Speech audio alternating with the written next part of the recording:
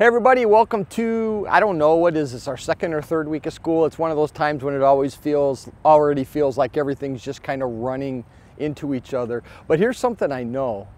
For as much and as long as we look forward to an event called Ollie's Follies, can you believe that it's already in the rearview mirror for this year? Uh, and maybe some of you, uh, senior class excluded, maybe some of you are already looking to plan for Ollie's Follies next year. Uh, of course, you don't have the theme yet. Maybe Smitty does. He might already know, but you don't. But Ollie's Follies was amazing from athletic games to wacky games to last night, the variety show. It was just a blast. It's, it's great to be a part of that with you. And the, the way we express community around here, I think it's, it's, it's tough to match any place else. So uh, to all four of the classes uh, and the way you competed and participated. Um, it was it was really really fun, and I just love um, the way we uh, we we create and shape community around here. And I hope that you're getting a sense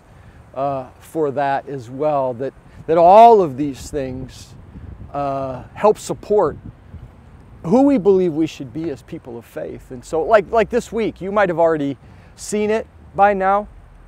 Clubs and organizations are out, they're recruiting people to, to join them. And I encourage you, you've heard Smitty say this, you've heard others say this, get involved.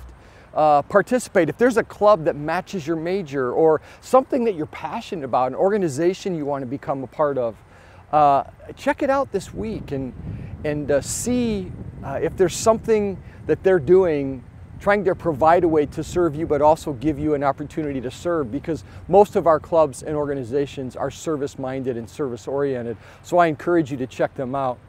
And, and this week, tomorrow in chapel, is a Festival of Ministries. It's the first time that you are going to hear this said a lot this fall. It's the first time in two years that we've been able to talk about the ministries that our students, you, lead on campus and in our community.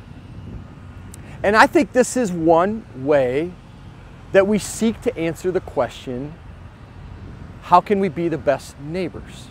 So we seek to answer that for us on campus, like a heart ministry that uses creativity and art um, as an expression, right, of our talents and our abilities. And, and sometimes it's just therapeutic. So I encourage you, check out Heart Ministries, uh, check out Prayer Warriors, uh, this, this group of students that that all, they pray.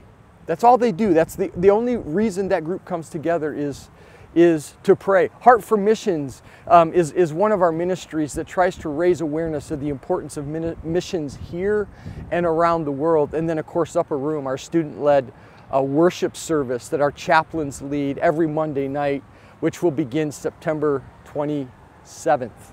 Uh, the, the first Monday after revival. So we hope those are things on campus that you check out, that you look to become involved with.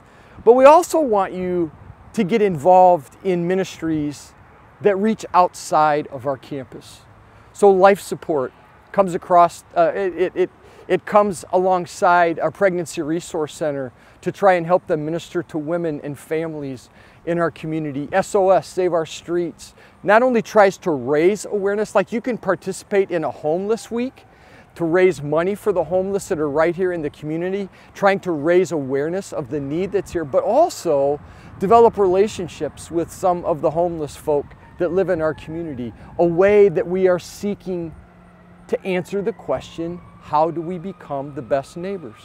Habitat for Humanity, um, a way for us through manual labor to minister to our community. Sometimes we're building a house, but they've already been to Pembroke uh, for a wood cutting and wood stacking event this semester.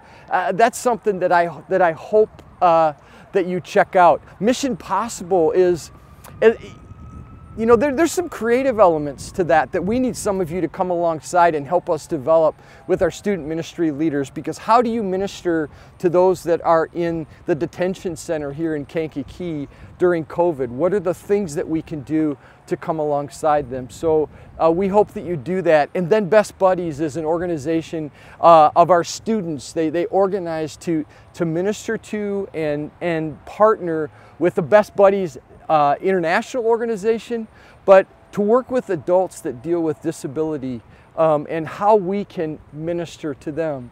Uh, there's a lot of different ways clubs, organizations, student led ministries on campus, off campus, in our community.